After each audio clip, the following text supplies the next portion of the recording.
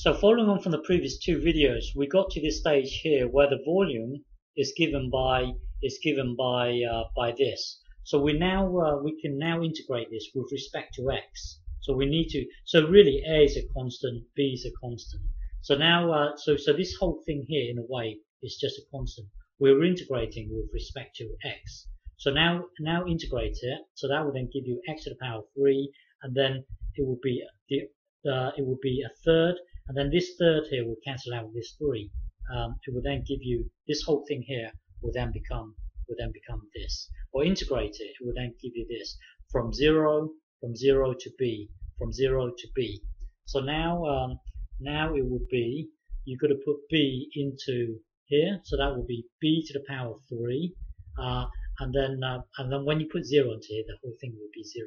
So, so we only need to take care of b to the power of 3. So now this b to the power 3 would cancel out with this b squared. That would just give you b to the power 1. And then, so, so the formula for the volume uh, is given by is given by this. So this is our formula here. This is our final answer.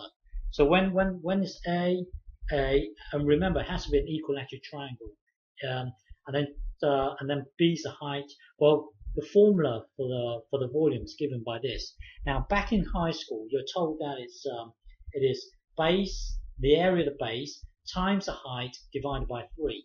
So so let's let's verify high school um, the high school formula. So uh, so we need in high school you're told that it's base times height divided by 3. So so we need to work out the area here.